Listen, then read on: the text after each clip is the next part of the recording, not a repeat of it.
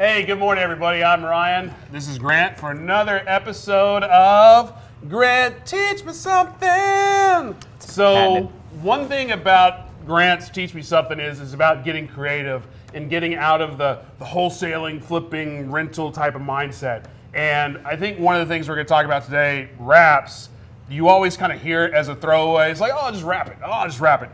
Well, I would think most of us are kind of like, what the hell is a wrap? Because a maybe we- we've never taught because it is a creative type of Right. thing, and b it's it's a little bit harder to kind of teach versus and you know I don't know What- Right. what's so difficult about it.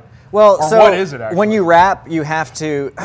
it's really hard because you have internal rhyming schemes and you've got external rhyming schemes, and so when you create these phrases, you. Ha- I'm sorry, I'm talking about a different kind of rap. Sorry. Um, no, wrap mortgages. Ha, I'm a funny guy. Wrap mortgages. are when you that's have our a episode. payment. Y'all have a great yeah, day. da da da da da da. Um, wrap mortgages are when you have a payment underneath to debt. Okay, you've got a you've got a first lien on your property somehow. That could be because you bought your property subject to. That could be because you bought your property with financing from a bank. It doesn't really matter. You've got debt on a property. Okay, let's say that that debt for the property is. $400 a, uh, a month, like we talked about uh, in the previous two weeks. I'm going to kind of use those similar numbers. Let's say it's $400 a month that you're paying to the bank. To wrap that mortgage means that you're going to take that debt and wrap new debt around it, which essentially, when you boil it down, as simply means your buyer's going to pay you more than you're paying on a monthly basis. Okay. Okay. So their payment may be $750 a month. Your payment is $400 a month. You may be paying $80,000 worth of principal. They may be paying $90,000 worth of principal. So if I were going to visualize this, and forgive me if this throws a curveball and messes everybody's heads up, but say, okay, this is the underlying debt on the, the lien, the mortgage, or whatever you want it is. Mm-hmm. That's the debt, and this is the buyer coming in to like overdo that. Yes. But it's not going to be here. It's going to be more like here, and that space between is your. That's your equity. Equity, that's your how that's your profit, your cash revenue, flow. cash your- flow. yeah, all that kind of stuff, right? So yeah, I mean, I like that visualization because that's typically how I Or draw it out. Better it'd be like, here's the debt. No, open Oh. your hand. That's that's you. That's your money. Okay, and yeah. then that's the buyer, right? Oh yeah, and I just like that we're no, holding no, hands. No, I mean serious. Like that. Yeah, yeah, And uh-huh. this hand here, that's the money Right, in between. Okay. right, Now yeah. I, I'm a visual guy. If you're a visual guy, maybe that helps. Yeah, and that's and that's I a, wasn't trying to be stupid. it's a good visualization. It really is because that is exactly what's happening. Is you've got debt that you can't change. You've got debt if you bought a house subject to. And again, you know, referencing subject to here. Uh, if you're interested in sub two, we did an actual Grant Teach Me Something on sub two, episode six. So just go through the Propelio live. Uh, There's a videos. playlist. There's a playlist for Grant Teach Me Something. Look at episode six, and you can learn more about uh, sub two there. But but essentially, sub two is taking over on somebody's payments. Is what it boils down to. You can't change those payments. You know that payment to Wells Fargo, that payment to Bank of America, that is what it is, right? So again, you may be owing uh, seventy thousand dollars at four and a quarter percent. You know, four hundred dollars a month for twenty-two more years, and that's your that's your chunk right here.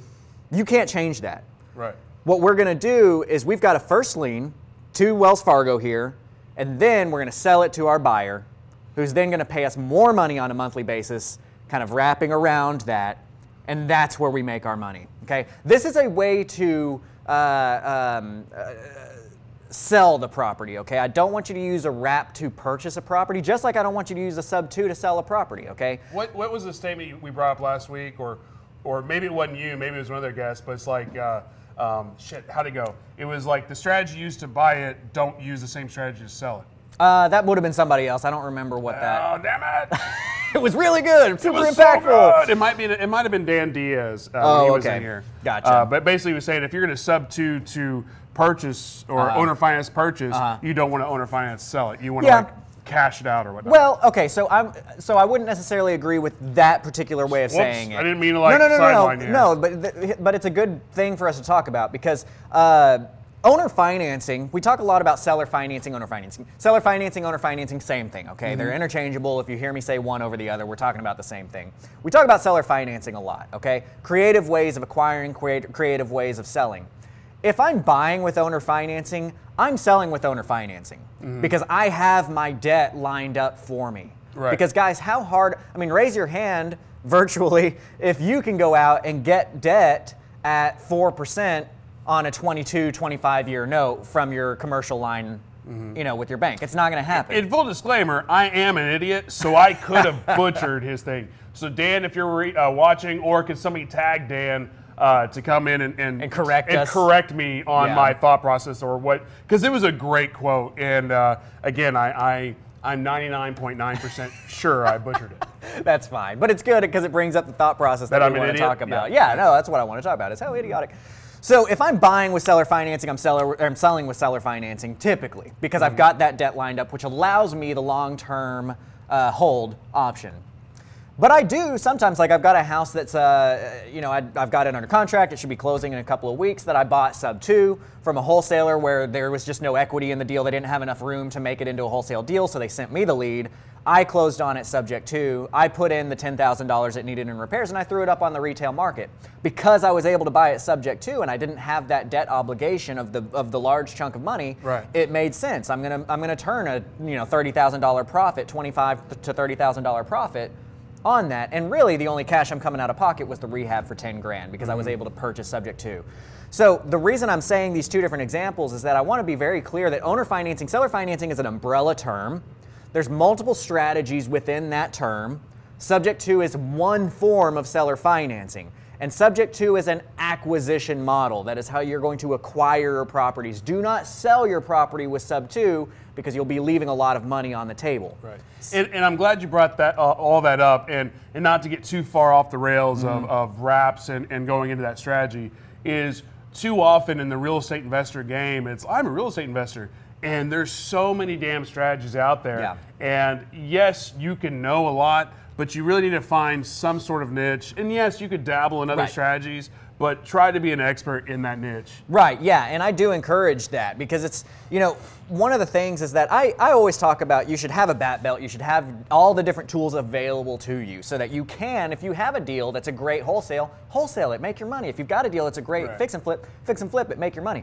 But for instance, like that property I'm talking about down in DeSoto, if I didn't know how to do a fix and flip and subject to, then I wouldn't know how to mix those two strategies Right. and make the most out of that opportunity. Okay? So that's kind of what I'm encouraging you guys to look at it, knowing these different strategies. So when we get back to that, we've got seller financing. Subject to is one form of seller financing, and it's an acquisition model. However, what I want you guys to, to understand is that wraparounds is another form of seller financing, and it is a disposition model. It's the way for you to actually make money on the deal once you've purchased it subject to, once you've purchased it with seller financing, or even if you just had that property as a rental and you want to turn around and seller finance it to somebody else. This is how you make money in, in seller financing. It's through the wraparound mortgage. Okay. Now, there's a lot of cool things about the wraparound mortgage. Those of you who watched uh, this whole series, I think it was episode one, we were doing the two LLC system, right? I, I briefly, why don't you remember? I, I briefly mentioned that there's multiple reasons why that 2 LLC system is going to be beneficial to you, not only being able to foreclose on yourself, but things like uh, uh, interest rates and that are, are benefits from doing the 2 LLC system. And now we'll kind of dive into a little bit of what I mean by that. And, and, and real quick, because you didn't mention that, I will throw a slight, you know, plug.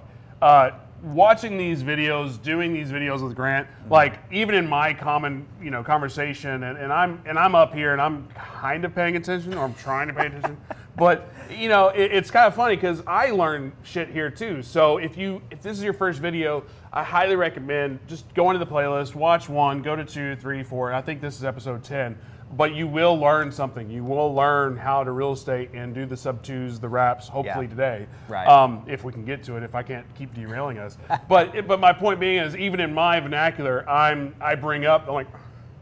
I learned that with Grant, the two Good. LLC system. Exactly. So anyway, yeah. back to so I'm glad because I, do encourage you guys. There's a lot of information out there. So the two LLC system is one of those things where even if you own a house free and clear, um, you may want to create debt on that property in order to wrap the mortgage to your end buyer.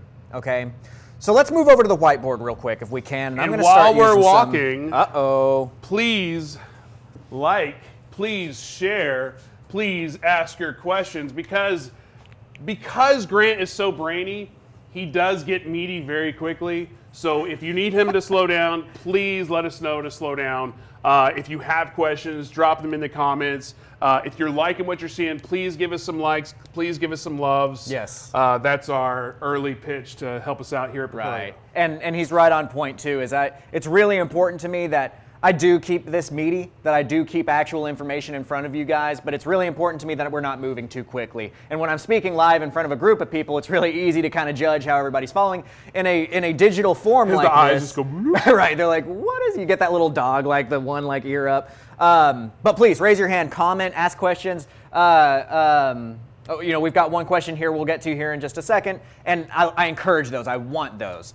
So let's look at what we're talking about here with wraparounds and how the, the 2LLC system might work with that. And just to give us a visual of what we were doing with our beautiful hand holding, over here is our initial debt that we may have at 70,000 for 22 years, and it's going to be 406 uh, a month. Okay, that's going to be the debt that we're taking over on subject two or that we purchased with a bank loan, or whatever that might be. And then what we're going to do is we're going to sell it with owner financing to somebody for a larger purchase price. So they're going to buy it for $100,000. They're going to have a 30 year note on it. And they're going to be paying us 756 a month. Okay? We're charging 9.5% on this. We're typically at like four and a quarter on our underlying debt. If you'll notice, each number on the underlying debt has been increased whenever we sell it to our buyer. That's how we're making our money, okay? One of the benefits to having a wraparound, one of the benefits to doing this model right here, and the fact that this is technically going to be in a second lien position, which we'll talk about here in just a second, is that because of the compliance, because of Dodd-Frank and those other kind of lending laws that we need to be aware of, you're actually able to charge more money for that deal than if you were to just outright sell them a house with owner financing. So what do I mean by that? What I mean is, let's imagine that you've got a house and you've had a house that's a rental and you've had that rental for 25, 30 years, whatever. You've got it all paid off, it's free and clear. And you decide that you now, instead of holding the house as a rental, you want to become a, a, a, a seller financed mortgagee, mortgage, yeah, mortgagee for, uh, for somebody on that, and you want to sell it to them with seller financing. If you took that free and clear property and you sold with seller financing to a buyer, that would not be a wrap. Why not? Because there's no debt. You're not actually wrapping around anything, it's free and clear. So when you sell it to that end buyer, that end buyer is in fact getting a first lien position on the property. So who can tell me what creates a lien position? on a property. This is really important to understand. What creates lien position on uh, properties in real estate? Ryan, can you tell me what defines lien position? Uh, who who uh, forecloses first? Who, who raises their hand and said, me? Whoever files first. That one. Yeah, that one. I, I got he it. Got, Yes. he, you got there. You were there. Whoever files first. The only thing that matters in lien positions is the time and date in which it was filed. Okay? Now, lien position is important because of like what he mentioned.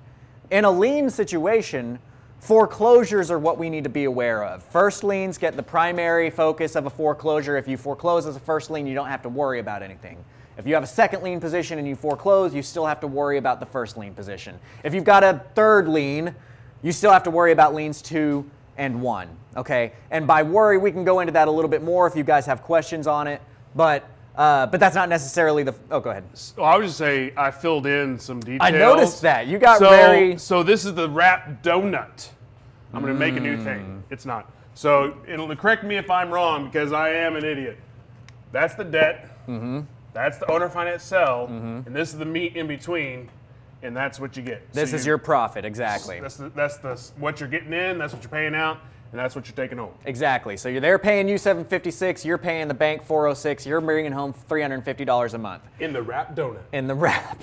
You're going to coin this phrase and somebody's going to go out and talk to other investors. Yeah, I like wrap donuts. And You're like- you're like, what the heck are you even talking about? Wrap donut. It's Uh, like, just start use, hashtag wrap donut. the, the other thing to think about too Hashtag wrap donut. is you actually have equity in this deal. In this In example your that we're hashtag wrap. Oh, in sorry. your- okay, I'll stop. I'll stop. So we sold for $100,000. Now, when you sell with a wraparound mortgage, the going uh, terms are actually going to be like a 10% down payment and then you're going to give your buyer 9.5% for 30 years. That's basically what the, the going rate is these days on a wraparound mortgage. But what that means is you sell it to them for $100,000, you get $10,000 right from day one For the down payment. for the down payment. So those of you wholesalers out there, those of you, we've already got some people wrap donutting. Um, those of you wholesalers, those of you fix and flippers that are out there, you know, wholesalers are typically bringing home an average. If you're good, honestly, if you're good, you're making like 10 grand, an average of the wholesale. Wholesale deals are a little bit harder these days. Well, you can make 10 grand up front on a wraparound mortgage and still have $350 a month coming to you in monthly cash flow. And on top of that, if you sell it for $100,000 and you take a $10,000 down payment, what is their mortgage for to you? Ninety thousand dollars. $90,000 I do math. In my hashtag wrap donut. in his wrap, wrap donuts. Sorry. Okay, I said last time that was my. So, so what happens is now you've got a buyer that owes you 90 and you owe 70. So you've got $20,000 worth of equity in this deal as well. Okay? Because you owe 70, they owe you 90, you got 20 grand sitting there as a nest egg. You're making 350 a month and you got $10,000 up front. Now, I'll be real, whenever you sell this property, you're typically going to use a realtor to help you sell it. And you're typically going to pay that realtor 3% for bringing you a buyer. Well, in this case, that would be 3,000 bucks, right? Mm-hmm. So you're still going to net $7,000 from your down payment. Because if you get 10,000 and you need to pay 3 of that to a realtor, Right. you're getting 7 to take home. So this is why this is such an awesome strategy for those of you who are doing wholesaling or fix and flipping or whatever is because you can still get that cash up front and you can still get that cash flow. And it's a nice meld between whereas landlords say, well, I want the long-term cash flow, that's why I'm doing landlording, and wholesalers say, well, I need the capital now, that's why I'm doing capital or that's why I'm doing wholesaling. With a, a wraparound mortgage, you're getting the best of all worlds. You're getting not only the cash flow that you would look for in a rental, but you're also getting that upfront cash. And oh, by the way, when you hold a mortgage to somebody, you're not responsible for the taxes, the insurance, the repairs. The AC, the whatever. The joke I always make is that again, I'll make you digitally raise your hand here. If you if you have a mortgage on your house, raise your hand. Comment if you've got a mortgage on your house. And I want you to keep your digital hand raised. Oh, you know what? There's a like button. I'm going to make if you've got a mortgage on your house, do a thumbs up, right? Do another thumbs up if you've ever called that mortgage company and told them that your toilet was leaking. Your, your, your mortgage company doesn't give a crap. We're gonna get zero likes. No, so do an uh, do a heart if you've never called your mortgage. Yeah. What the what the hell, man? you not how to Facebook? I don't. I don't know how to Facebook. I. It, it- But okay. but the thing is is that the mortgage company doesn't give a crap about your leaky faucet. The mortgage company doesn't care about your leaky toilet or the fact that your door isn't shutting right. And we are becoming the mortgage company in this. We are the ones that are collecting every first of the month. And if they don't pay us, we just foreclose on them when we get the house back. Right. We're not talking about trying to go in there and, and have to repair things and deal with the vacancy of tenants and have a one year lease and hope that they renew. And yeah, okay, you can raise the rent and that kind of stuff. But when you do this, you've got a 30 year commitment from your buyer of cash flow coming in at 350 and that's a net cash flow. And, one thing I know you you'll, you most like get to it, but I'll lead you into it just in case you forget. Here's one thing because it's written real small. 22 years, 30 years. So our hashtag wrap donut eventually becomes a hashtag wrap donut hole. no, because the donut hole is gone, so it becomes one Pizza. Donut, have pizza. It's a wrap pizza. Oh my gosh, I hate you. so yeah. Uh, but the cool thing about that, and for those of you who watched my Road to Retirement series that we just did the last two weeks on, uh, you'll you'll understand the benefit to that. We got a rat pizza comment now coming up. Um, you'll understand the benefit to that is that in 22 years you're no longer paying 406 a month to your debt. So now you actually have uh, another $406 added to your cash flow, and you're making a full 756 cash flow for 30 years. I'm going to do some quick math for you on this number, on this deal right here, to show you exactly what kind of money we're talking about making on a wraparound mortgage and why that is so uh, beneficial to us, right? So if we've got a $70,000 mortgage at uh, four and a quarter percent at 22 years, that'd be 408.59, pretty close to what we're talking about here. Now, here's the number that I want you guys to remember. How many years? 22. Here's the number I want you guys to remember.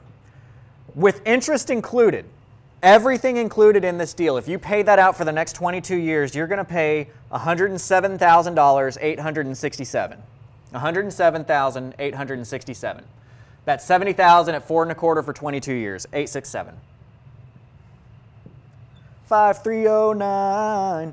Um, so if we look at the wrap mortgage here, oops. I'm going to erase this because I'm sure people get it. Yeah, they get that point now. And you're doing $90,000 mortgage to your buyer for 30 years at 9.5%. You said 90. 90K for 30 years. Uh, but you said 9%. Oh, 9.5% for 30 years. The payment coming in to you would be 756 and all in all, they're going to pay you $272,437. So if you take 272,470 and subtract 107,867 on this one asset where you started out only having a difference of uh, $20,000 spread or really $30,000 spread in the equity, you're turning that into 164,603. So basically, you're turning that asset into $165,000 net profit off of one single asset that you don't have any responsibilities to anymore versus like like I said the rental where you've got to do the repairs, you've got to pay for the taxes, you've got to pay for the insurance and the wraparound mortgage, that's not your responsibility. You're bringing home $165,000. Now granted, I'm assuming that you're going to full term with the 22 years here and you're going to full term with the 30 years there. But I will tell you that surprisingly enough, it's actually more common for that to be the case uh, for somebody, your, your buyer, to actually pay you the full 20 or 30 year term mm-hmm. in a wraparound mortgage. Whereas those of us who are watching this video, you're probably more used to moving every five to seven years. You might get a new mortgage and that kind of stuff. So you're thinking, well, people sell their house after five to seven years. Not in the wrap mortgage world, not in the owner financing world. It's more common that people stay in that note for quite a while. So you can somewhat count on this coming in, and that's one of the cool things about that wraparound. Can I curveball? Please do. Um, and because you have the note, I know a lot of people are like, man, 30 year commitment. Yeah, right. That's a 30 year commitment to them. And yeah, I only have a 20 year commitment. 10 years, maybe I need to liquidate. Yeah. What do you do? So the cool thing about that, let's erase this, and we're gonna we're gonna demonstrate something that we that we touched on a little bit so, last real week. Real quick, did y'all learn all that? Is that a simple concept, other than the fact that Ryan's hungry now? talking about donuts and pizzas. right, we've got people saying this isn't going to help their uh, their their keto diet, and then Thomas popped in and said donuts are keto because they're nuts. I mean, the logic's sound, right? It makes sense. Yeah. Um, so one of the things that we touched on last week's lesson. Did, did we have any questions? Oh yeah, that please. Aspect of it yet? The basic. Please pop it? up some questions and let's look through here. You know. We got some questions? Oh, we got questions on the way. Uh, so while Daniel's running over there to get those asked, uh, so we could kind of join the conversation, uh, please like, please share. If you have questions, jump in. If you want to comment how fat I am, you know what? Screw you too. With love. Donuts, pizza. oh man, I can't get enough of this. So, um, from Russian Jaime. I've got a question here. here. is, Jaime. His name's Jaime, right? It is Jaime. Because yeah. I don't know how to say yeah. the that stuff. He's a cool guy. He knows a lot. So, is it any safer to acquire sub two into a trust or into your LLC? If into a trust, do you initially put the seller as beneficiary and then assign their interest to your LLC? That's a really good question. Okay, so one of the common things that you will hear referred to when we're talking about owner financing and subject to is you're going to hear gurus around the country saying, just put it into a trust and everything's going to be okay. Don't worry about it. Just put it into a trust. And I'm going to be very frank with you guys. If you have questions about how a trust works, raise your hand by putting that thumb up there, right?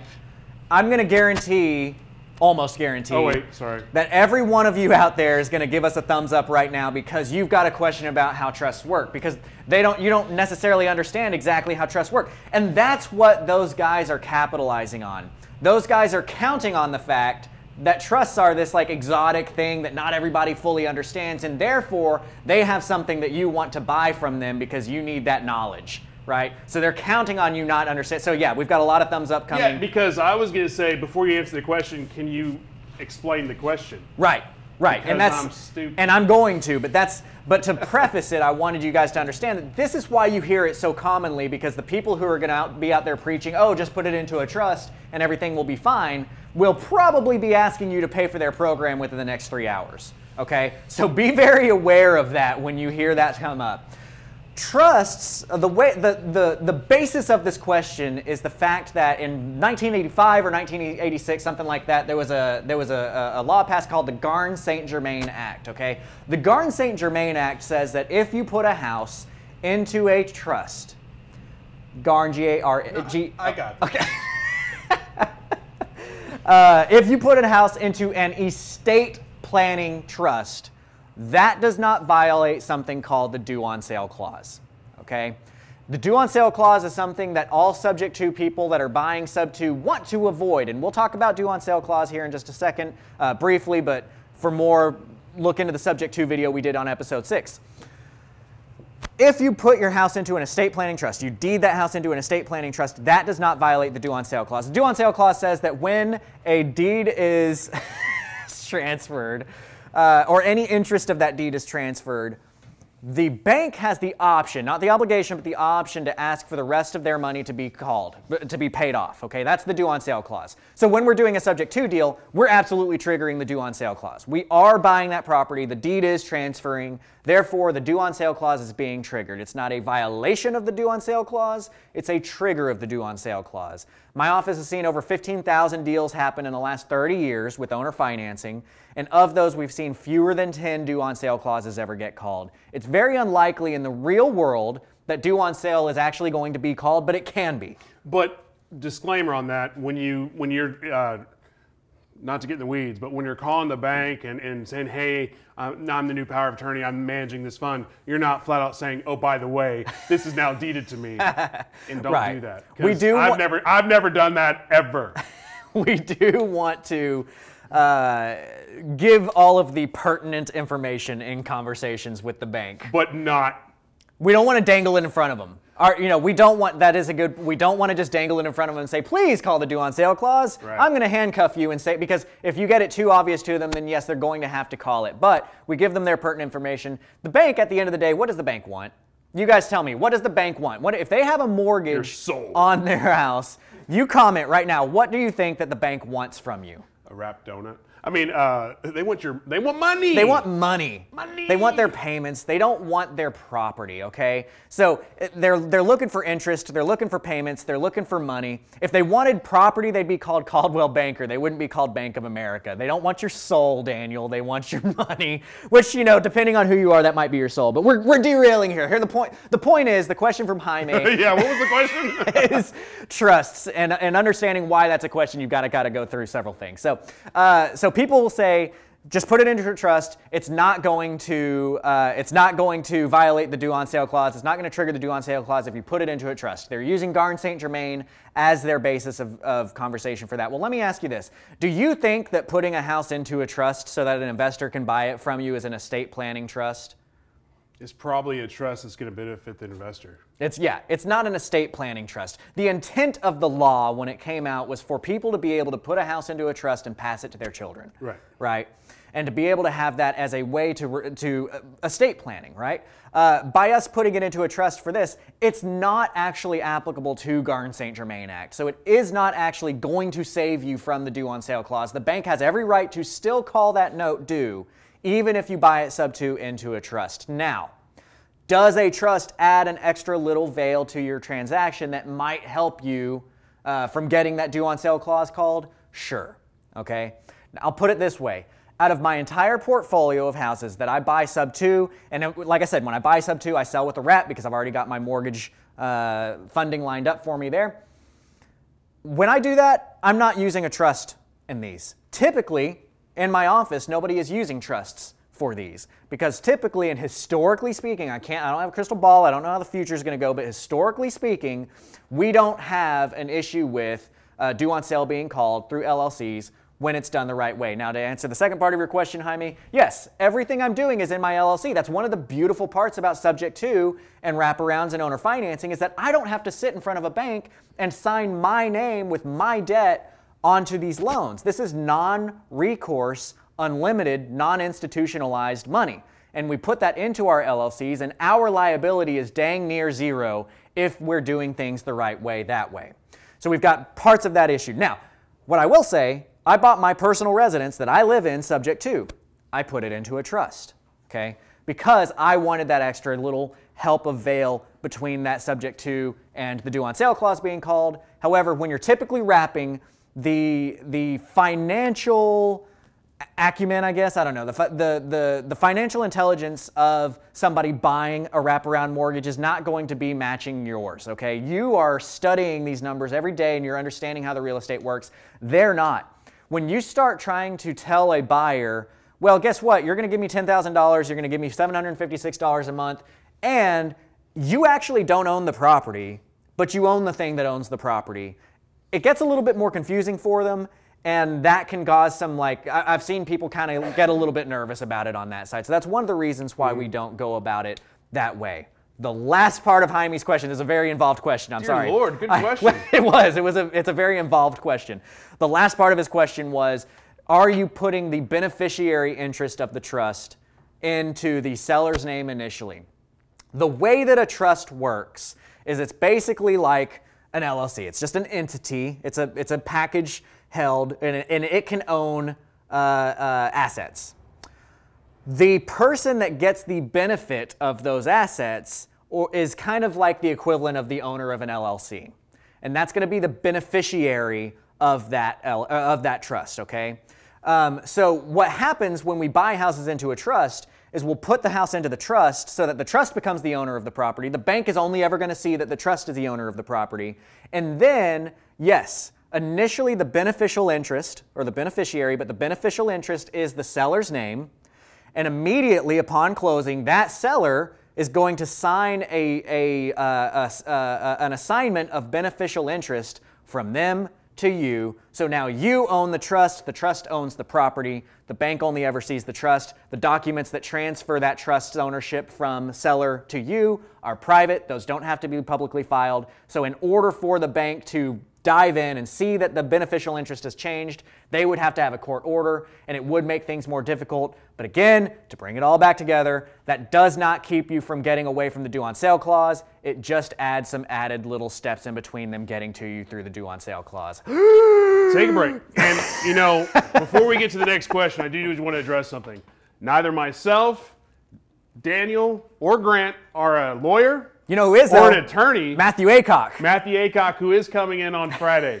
So this is for entertainment purposes and advice, but we are not financial planners. We're Got not it. your attorney. So everything he just rattled off for the last hour and a half, consult your attorney, consult your CPA. Right. And and you know, for the record, uh, Matt Acock is coming in on uh, Friday. on Friday. Uh, that deal that I was referring to earlier, that I took over sub two, and I'm selling retail. It's closing at Matt's office uh, next week. I like the guy; he really knows what he's talking about. So reach out to him. Watch that video on Friday. The dude's really sharp. So so go with that.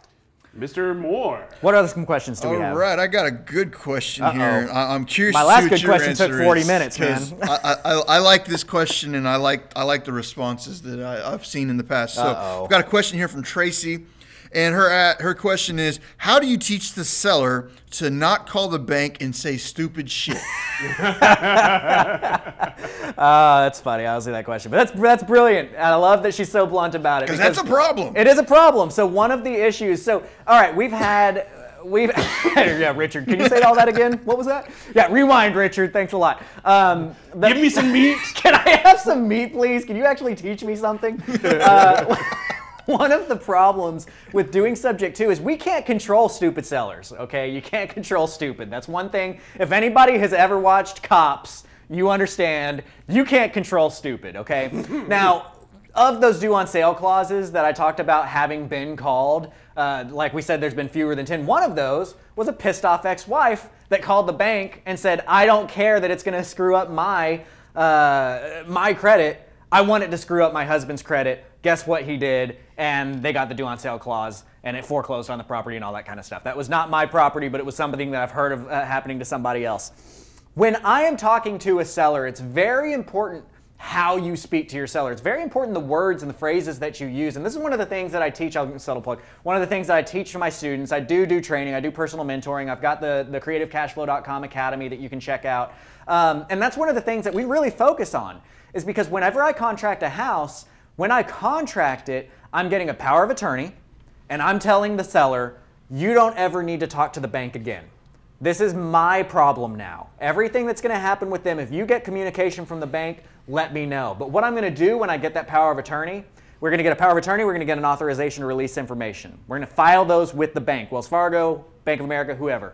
The next step we're going to do is we're going to go in and we're going to change the mailing address to our office address. We're going to change the contact number to our office's contact number. And we will be the people who are managing the property whenever we get spoken to from the bank. So, my pitch to the seller, the benefit to the seller is that once you close with me, once you sign all this paperwork, you get to wipe your hands clean and never have to worry about this again. That's my, my job is now to take care of this stuff. If anybody ever contacts you, reach out to me. If you need something from the bank, let me know because I know the right words and I know how to speak to the bank in a way that's going to get this working in our favor. And I don't have sellers calling the bank and saying stupid stuff because of that. So it's a really good question. So, but if you do have crazy, you do have stupid, is it just, well, shit, that sucks? yeah, it, it, can be. It depends on what they say, you know? Mm. And, and inherent to any investment, there's risk. Inherent to any investment, there's going to be stuff that can go wrong in it. And if anybody makes you believe otherwise, watch out because in three hours they're going to ask you to buy their program. 997 for but, three day week. But only for you today because I like you, and that's not how it goes. The next three, 30 minutes, 297. Do we have any other questions? I do have some questions on that, that, and that is, yeah, that's if everything goes great. Yeah, they they don't call the bank. Yes, I took over the power of attorney. Yes, I got the authorization. Yes, I transferred all of the information over to me. But what about that crazy ex-wife that calls up the bank and is just like, I want to screw up my credit. I want to screw right. up his credit. I want this to go downhill.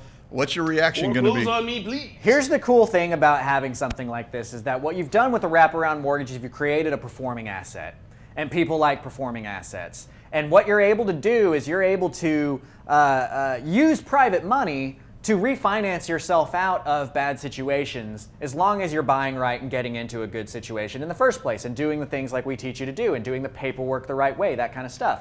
So I've had one house in my entire portfolio that may have been a due on sale clause calling, and I don't know, excuse me, I don't know because I couldn't get anybody from the bank to actually talk to me.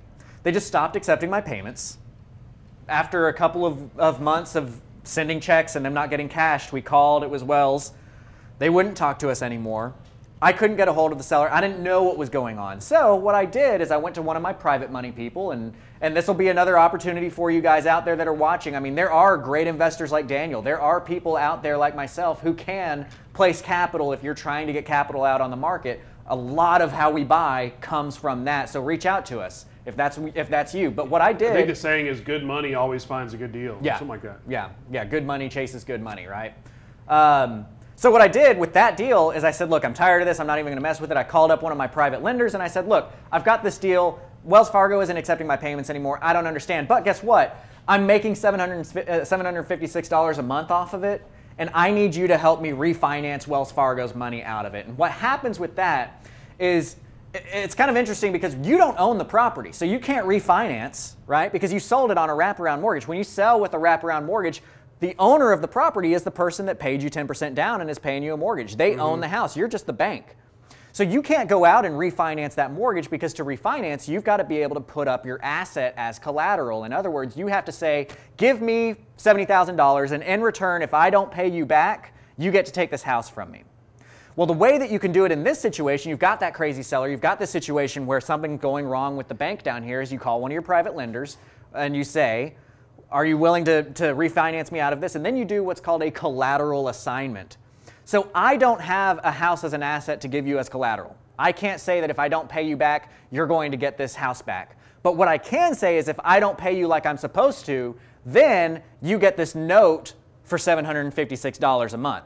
That's my collateral. My collateral is the fact that I have a mortgage with this person, a wraparound mortgage, and if I don't pay, my, my interest in that mortgage will go to you and you get that payment instead. Yes, sir. But Grant, you're this gajillionaire investor. Why don't you just use your own money out of your wallet to pay it off? Right. So can't so there's a lot of answers to that. A, I like spending my money. I don't like spending my money on things that uh, you know other than being able to spend it on things that I, I want. B i've got a lot of private money behind me. There's a lot of people who don't have the ability to create mortgages and to create opportunities in uh, real estate but they've got a lot of capital. Some of you watching may be in that situation.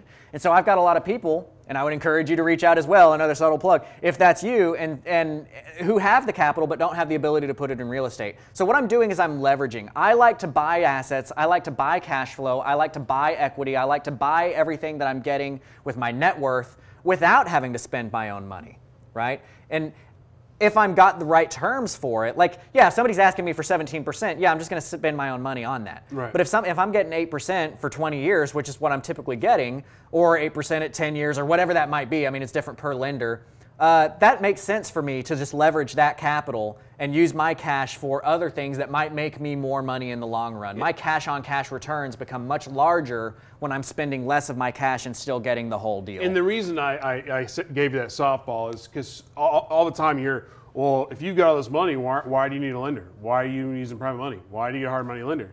It's like it's that ability to leverage what you've already built. Right. Because say you are a gajillionaire. Right. Well, even if you're a gajillionaire, eventually, if you're spending all your money on deals, you can't do any more deals. I was about to say that. No matter how much money you have, you're going to run out. I've got almost $10 million in debt, and I've only been doing this deal or doing this thing for six years, right? right. I, I did not have $10 million sitting there that I could just spend on deals. Right. So, uh, so yeah, no matter how much money you have, you're going to run out. No matter how much private money I have, I'm going to run out. There's just so much business out there to work on. Do we have any other questions, Daniel? I've got several questions, but I'd like to touch base on the the crazy seller calling the bank up situation and the Yeah. bank calling the note due.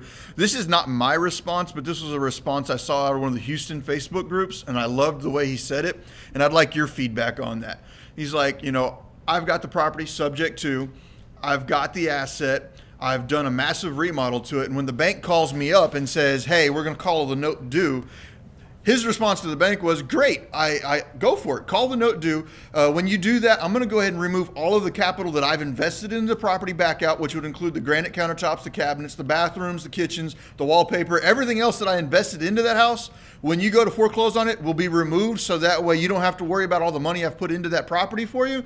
And if you'd like to go ahead and move forward, go ahead and move forward. What is your thought process on that response to the bank? I think that's a really interesting response, and from my understanding, that worked for him too, Yes. right? Um, I've never tried that. I mean, that's a pretty hardball stance to take on the bank, and I've never tried that one before. And from my understanding, you also had to move up like several ranks in the. You know, you're not talking to the peon that answers the phone. You're saying like, let me talk to somebody who actually knows what they're talking about and haven't. I haven't tried that. Um, but it's interesting, and that Can you could be explain a a, really little bit what that tactic is and why the bank would be afraid if you started talking like that? Yeah, so the reason why the bank is afraid is again, they're not Coldwell Banker, they're Bank of America. They want to make money. And the unknown of, because if they take that property back through foreclosure, a lot of things happen. Okay, a lot of stuff happens behind the scenes. A, that costs them money in legal fees, etc. Costs them to uh, uh, have that house sitting there. And then also, when they put that house up on the market to try and sell it, how much are they going to be able to get for that asset on the open market? Well, you tell me how much is a house whose ARV is 150 going to get if there's no kitchen in it, right? If you take all the kitchen cabinetry out and there's no flooring and you remove the roof or what you know whatever that Right. is, they're not getting squat for it. And the thing with bank lending is that when they do that loan on the uh, on your house with bank lending, it's not made up money, right? Because you're buying the house from the seller. Okay, so like let's say you've got your seller over here, and they want uh, to sell the house for 100k. And through the traditional financing model, you're going to go to uh, Bank of America, make it look like a jail here, right? you're going to go to Bank of America and ask them for a loan for that property. They're going to say, "Cool, give me, you know, whatever, three and a half percent down if you're doing an FHA loan." So they're only getting three and a half thousand dollars uh, actual cash coming in. And guess what? They're actually giving this seller a $100,000 of real cash. That cash is leaving this account and going to that person. That's actual money leaving. Okay? It's not made up money like with a wraparound mortgage where like, oh, you just owe me a 100. Why not? We're just making up money. We, we're, well, sometimes we'll joke around that we print money as a business. That's what we do is because we just make up a number and then people owe it to us. But here, they're actually putting that money on the line. So if they take a house back, they have to make that $100,000 back for it to do any, just to break even for them. And if you've threatened to make that asset not worth $100,000 anymore, they're talking about taking a loss, and that hurts. And guess what? When they do call a due on sale clause, that's also classified as a foreclosure at that point in time. And Fannie Mae and Freddie Mac uh, uh, punish banks on their lending power in a multiple of however much they're having to foreclose on people because it shows that the bank was doing irresponsible lending. So I think it's eight, and I can't remember. I think it's eight times. If you know the answer to that, uh, uh, comment in uh, right now. But uh, Fannie Mae and Freddie Mac say, hey, if you foreclosed on $100,000 worth of loans last year, we are not going to back up $800,000 worth of loans this coming year. So they've got to really consider are we going to make enough cash by taking this property back and reselling it for it to make sense in our asset management? Or does it just make more sense for us to sit here and continue getting uh, payments made on time from this investor, even though we could call the due on sale clause? Does that answer what you're looking for? I will say, if you're like me and all this is way up here, give us a like. or give me a like. You know, here's the thing, guys. Or hashtag Ryan's an idiot. Those of you who are watching, I want to be very clear with this that that's my that's my job here. My job is to give you real information. My job is to get into the nitty gritties. And if you like that, I do want to see you like this. I do want to see you share this. I do want to see you go like you know at CCF Mentors because that's what we're about here. There's a lot of places that you can get fluff. There's a lot of places that somebody's going to pat you on the rear and tell you you're going to be a millionaire in five Just years. Just do it. Just do it today. You just got to make the decision. Just grind. Do work.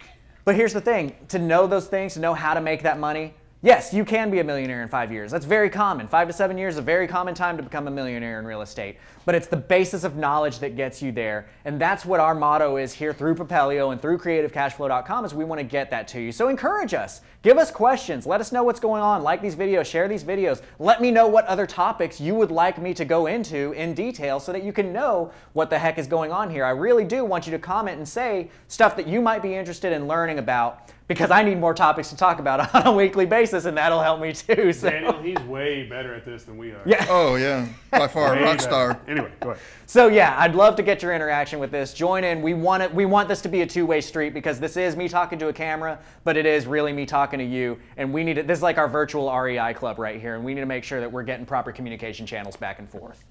So I got some more questions. Please hit me with them.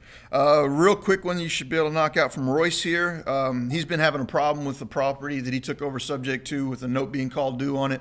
Uh, but he's asking here, how do you stop mail from being forwarded to the seller from old address from the bank? So the bank is sending mail to the old address and it's getting forwarded to his seller.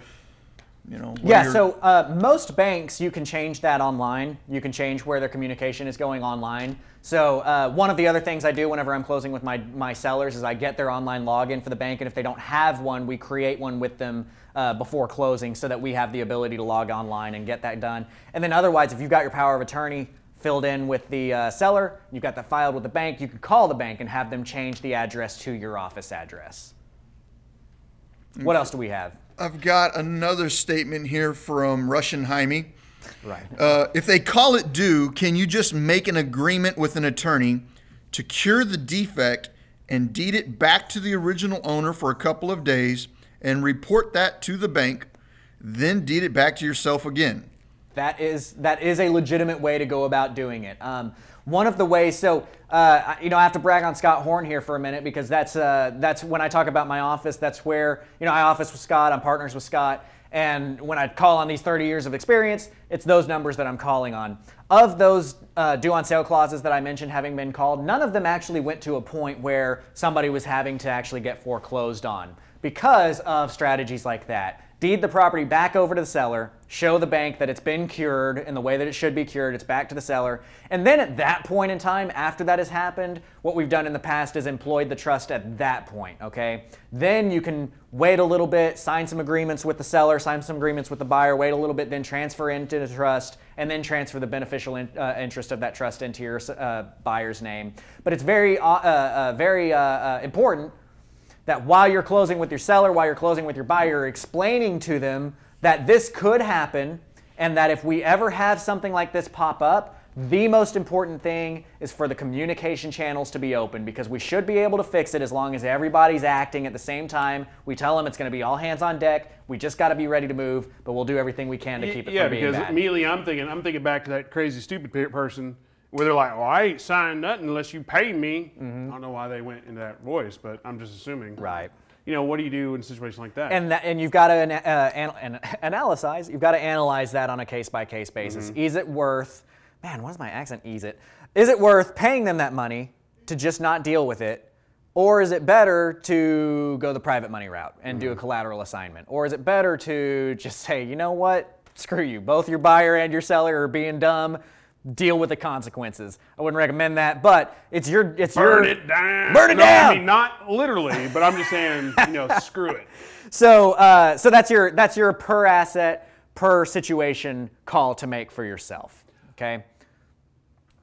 I forgot where we ended. Yes. And we start going on on, on We did, questions. yeah. But I know we're talking about wraps. Right. So the wraparound, and I'm going to actually push this off to uh, future lessons Okay. as we start talking about because we've gotten some really good interactions here and we've gotten some great questions. So I do I do want that to keep up. But I think that we've gotten a good point across for you guys that through a wraparound mortgage, you do have the capability of making a lot of money uh, without having the liabilities that you would from putting your own cash on the table. Right. And, and, and just to summarize and break it down for the stupid people like myself, you know, you got the debt, and then you got the owner finance, Mm-hmm. And then you got the meat in between, and the meat in between is you. That's all your profit right there. The hashtag wrap donut. The hashtag wrap donut. Yes, yes, that is it. There you go. Excellent. But anyway, but yeah, so you've got the, the debt, and then you got the owner finance, but then you got the meat in between. Right. That that's your that's your happy place. This is your happy place. This is where you make your all your money. And guys, I love this strategy. It's a really good strategy for you to, again, uh, if you're doing things right, if you've got your paperwork set up the right way, you've got dang near zero liability on this on this loan. Uh, using an attorney like Matthew Acock, using an attorney like uh, Scott Horn, that's going to be your key to getting these things th- these things done the right way Did you see things? things, these things done the right way, and uh, and getting the proper training, guys. Looking at something like this, you know, here's the thing: is we talked about our our goal is to give you meat. Our goal is to give you the real inside information and not just be the fluff that pats you on the rear and makes you feel good about what you're doing. That's not what we're here to do. But we are here to educate, and we do have things to offer that are going to help you out with that, right? And, and real quick, we are wrapping up. Get it? Um, subtle innuendo, That was whatever. good. But I know, right? But since we are wrapping up, you still have an opportunity to jump some questions in. So so put them out there. Let, let us hear what you got to say. And it looks like Daniel's over here with a question. I love this question because I get mad at the uh, the gurus that come around and say you don't need any money to do subject to. I disagree with that, and this question is: Would you say that you have to have some capital to do this? I knew it was going to have to be a good question because I'm sitting here talking to the camera and I hear Daniel in the corner. Yes! okay, here's the thing. Here's my answer to that. I bought my first 50 to 60 houses with literally without reaching into my own back pocket for a single dollar. Okay? You can get into owner financing and subject to without any capital. Capital. To stay in the business, you've got to have some capital lined up. So here's what I recommend for you. If you don't have money, if you don't have money, you can still make this happen. But when you get that 10% down payment, set that money to the side and do not touch it because that $7,000 is going to be what allows you to debt service your property if your buyer stops paying for a couple of months and you've got to foreclose. And, and on that note, I've known Grant for several years now, and he's been very vocal in his, uh, at least the, I'm, I'm not gonna say your first few years in the business, but the first few years I've known you in the business, as I fully anticipate, and my wife fully anticipates us being poor as whatever, because every dollar I make is going towards the future, not for right now. Right, and, and that, would, that was always my stance. And, you know, fortunately, God's been very good to me. These last couple few years, I've made a lot of cash on top of the net worth and those kinds of things. And now he's going- got like this big ass house. it's true, and I bought it sub two. Um, so, but the, but again, to that point, I poured everything into the business at the beginning. You know, we did we really didn't pull much out. I, I matched uh, my first year. I made like 55 grand or something like that that I actually brought home, and the rest went in the business, and we've been going up since then. But you don't have to have capital to get in. You can buy houses through networking. You can buy houses in, in various different ways with owner financing. It's one of the beautiful things about this that makes it competitive with a strategy like wholesaling, where you don't have to have capital. But you got to understand there's things like uh, marketing. You know, you've got to you've got to really understand that you've got to if you're not good at marketing to people like for instance, I'm good at marketing to people. I can go to REI clubs, let them know what I stand for, get deals coming from other people who are sending out the marketing. and you know, and, and but there's phraseologies, there's things to say, right? And that's one of the things I talk about with my like students. not what I just said. Yeah, not just like. Don't say that. So sexy lady, how about you give me some of them deals, huh? That, No, that's don't not do how that. you go about doing that. So, uh, but there are ways to go about doing that. That is one of the things that I talk about with my students and, and, and helping you to where you can buy houses without any money. But if you want to stay in the business, you've got to set that capital aside to be ready for the rainy days. Right. Mr. Moore.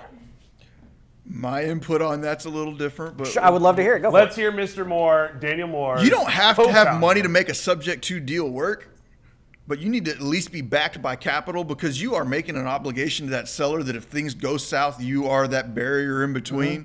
And if you do your very first deal, like let's say, uh, like Royce just did his very first one, it's going south real fast. Well, if he did that deal without any money or without any money backing him, then what we would end up with is a problem where you're now obligated to a seller and you're not um, able to perform. So you either need to be backed by capital or have capital, and that's my personal opinion. Uh, with you know Grant's scenario, I believe that you really quickly were able to find capital partners to help you out. So Right. you were able to get into this business and scale up really fast. Sure. But you know, And, I, and I'm glad that you draw uh, draw that opinion or that opinion out because I agree with you. I, I do. I, and uh, part of the basis of why, and you know, and, and, and it's dangerous for me because I don't want this to be like, oh, it's just so easy. It's just so easy. It's not so easy. There's a lot of complicated things that go into this, as you see. Uh, however, that like, like I said, if you're going to sell it with owner financing, you have a down payment, you've got some money backed up that's going to last you for a little while. But if you've got a deal, a performing deal, and you've done it the way that I've taught you how to do it, that deal is shoppable to private money, and you can reach out to somebody like me. You can reach out to somebody in the business, go to these REI clubs, and check with other people that do have capital or who have done this business, and say like, look, I've got this deal, and uh, I've run into a situation where my buyer's not paying it anymore. Would you come in as a capital partner on this? I'll give you 50% of the deal if you can if you can cover my debt service while we're reloading it and uh, doing the rehab on it. And of course, you're giving up 50% of your deal, but there is nothing more important than doing what you say you're going to do and taking care of your seller. If you're going to look at your seller in the eyes and you're going to say, "Yes, seller, let me take over on your mortgage and I will become the owner of the house and I'm going to get all of the capital benefits of owning your house." But guess what? You're going to own the debt. And so and if a foreclosure happens, it's going to affect your credit, not mine. Sign right here and they sign that piece of paper, you better do everything in your freaking power to make sure that that never goes to foreclosure because they have trusted you with that asset and you have to do the right thing. There's nothing more important than doing the right thing. Proper disclosure, letting them know about due on sale clause, letting them know what you're going to be doing with the property, the fact that you're going to make a lot of money on it.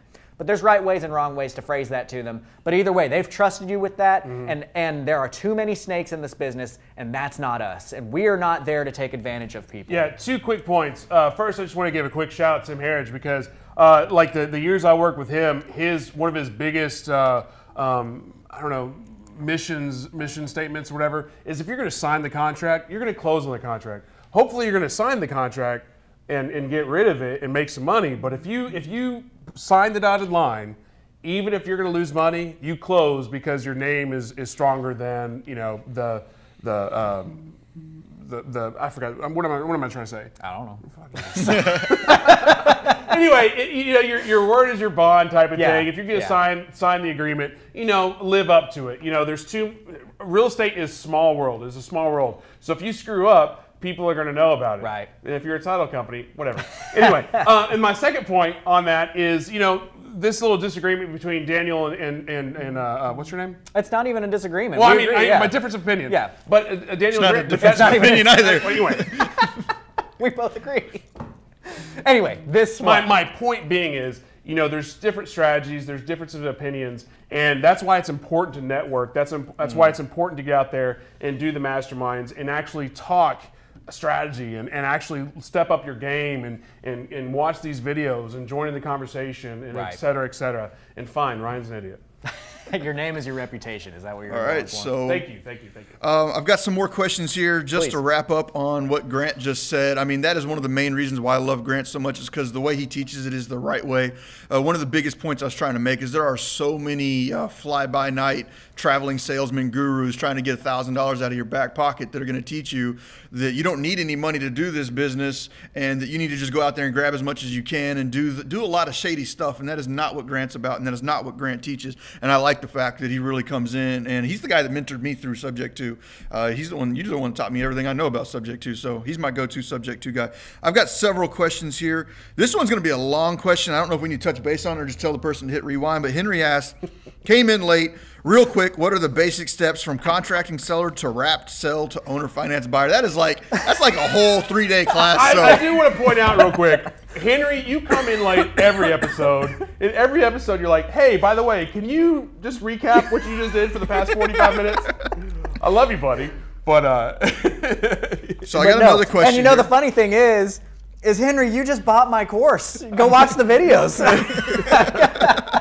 I saw that. I saw that come through. Uh, So yeah, the the the question from Henry is contracting the seller, wrapping, owner financing. Uh, that is something I teach in my academy. I'll use that as a nice little little segue here. I do have an online academy through CreativeCashFlow.com that you can go purchase, and there's chapter after chapter after chapter that walks through every start to finish step. It was sponsored by these guys at Propelio because they are so uh, dedicated to getting real information Only in front of people. Right, yeah. And uh, getting real information in front of people for that kind of stuff. So encourage them. Go like their page, follow their page. Go to propelio.com. Most of all, dude, you've got lead lists that are amazing there. You've got a CRM that he refuses to talk about, but I think is great. You've got the ability to get MLS comps out there. It's an amazing piece of software for 99% of the people that are watching this video. So go check out propelio.com. They do have something to offer you that is amazing. Uh, and encourage him for to keep continuing to do things like this and get real information out in front of you. he's way better at this. He is, he's Grant's a rock star, and absolutely like his class that he put together. That 36 hours of just straight video training was absolute gold. I mean, I know for myself personally with you, I had to bring you quite a bit of capital through equity that uh, to get that training from you. So if I could rewind it back and just drop that and grab those videos, I would have definitely done that because you got at least 20 grand out Oh of yeah, I me got, on that. I got good money out of it. We both got good money we out of both got good money out of that. So moving forward, I got another question here from Jaime.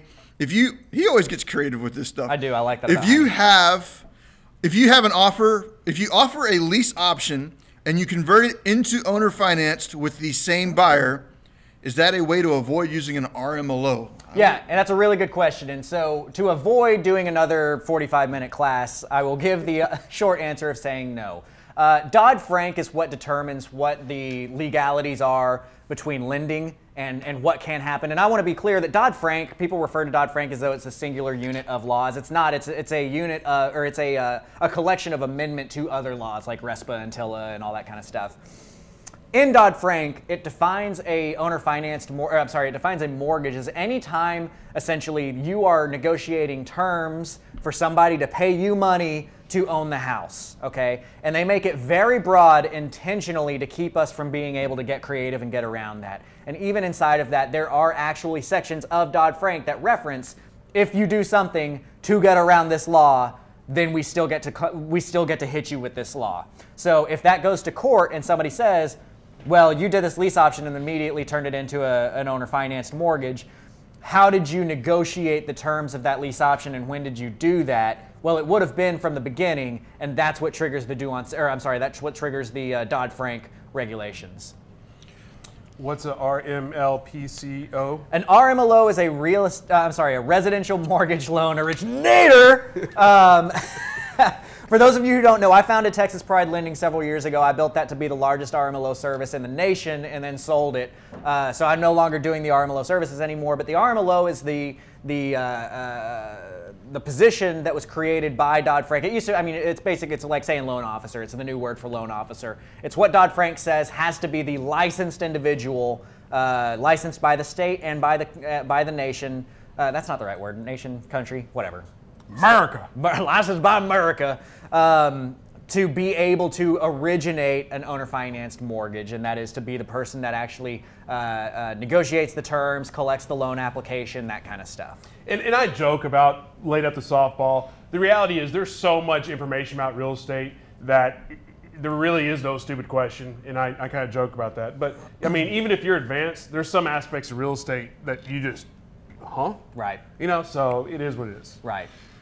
All right, so I've got a uh, statement here from Matt Aycock. He's coming in Friday, you said? He's coming So- in Friday to teach us about the whole tax. So if you have some one. questions about the changes in the tax law, Matt Aycock's coming in on Friday to talk about that. He is a lawyer. He is very, very sharp. I mean, he's closing a lot of deals for investors here in DFW. So check out Matt Aycock. But uh, he said, you know, highlighting disclosures of purpose slash goals is very important. Great point, Grant.